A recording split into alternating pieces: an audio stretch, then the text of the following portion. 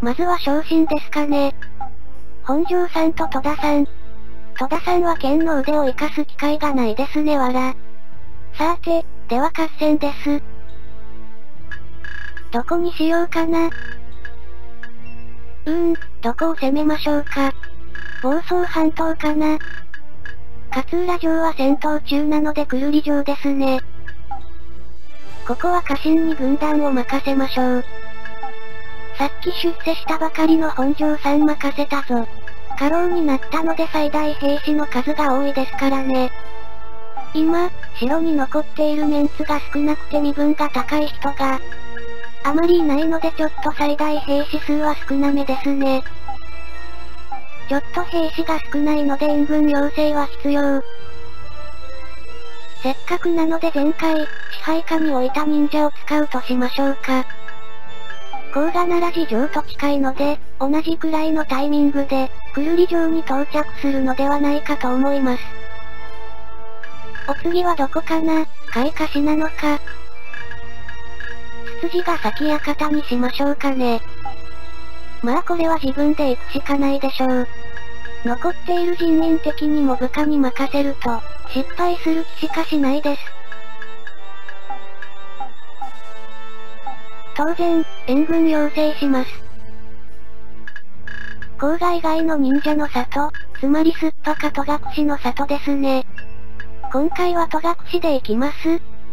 いやー勢力の国主以外のところに、援軍要請できるっていいですね。これからは忍者たちもこき使え、いや活躍してもらえますね。忍者頑張ってくれよ。海を支配するぞすでに敵の兵士がめっちゃ削られていて楽勝でしたわら。向こうからの降伏の申し入れを受け入れて終わり。連れてきたメンバーのうち3人が徳川家ですね。吸収した徳川家は役に立つぜではいつものように連戦します。まずはここを攻めて海を完全に支配下に置きます。本庄さんはくるり城の攻略に成功しましたね。こっちの兵士は少なめですが規模が小さい城を攻める分には、特に問題ないはずです。まあ念のため援軍要請しますけどね。風魔が敵援軍で来るかもしれないので。援軍要請で甲賀と戸隠にしたのは、すぐ近くのスッパを残しておいて、こうやってすぐに援軍が来るようにしたかったからですね。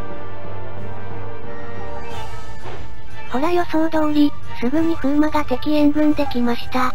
これで援軍要請が甲賀や戸隠だと風魔が来るまでに、援軍到着が間に合わず、自分の軍団だけで、野戦するしかなくなっているところでした。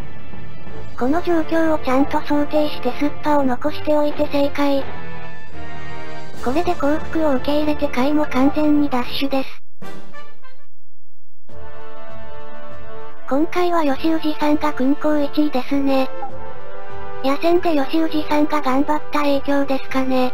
野戦になるとただ一人だけ、最大兵士が4000人の吉氏さんは、頑張るしかないのではら。家康は海津城の攻略に失敗してましたねまあ規模が大きめの城なので仕方がないかな。吉氏さんは規模の小さい城を狙ってますが、やっぱり今回は兵士の数が少ないので味方援軍なしでの、敵援軍との野戦は避けたいので退却するぜ。野戦で退却すると軍団が壊滅して兵士も物資も、なくなってしまいますが、城攻め中に自分で退却する場合は、兵士も物資も無事なまま帰ることができますからね。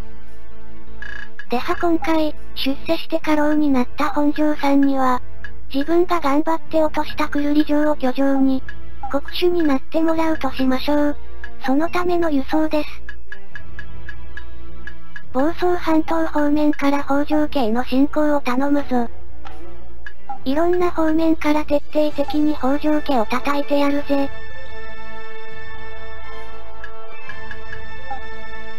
今、家老は本庄さんしかいないので、これでまた手元に家老がいなくなりますね。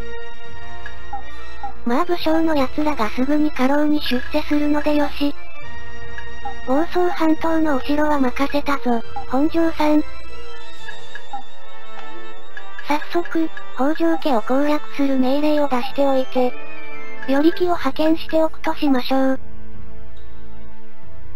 いやー、しかし北条も残っている城はほとんど関東だけで、かなり勢力が小さくなりましたね。